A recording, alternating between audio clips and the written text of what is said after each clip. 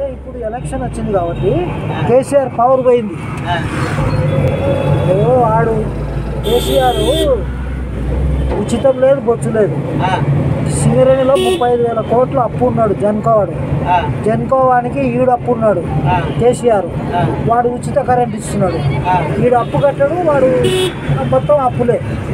ఉచితము లేదు ఏం లేదు. యాక్చువల్ ఇండైరెక్ట్ చూస్తే ఆరు లక్షల కోట్లు అప్పు అయింది ఆ, కాళేశ్వరం లక్ష ముప్పై వేల కోట్లు ఖర్చు పెట్టాడు. అది మునిగిపోయింది. కింద బొగ్గు ఉంది. బొగ్గు మీద పిల్లర్ వేసిండు.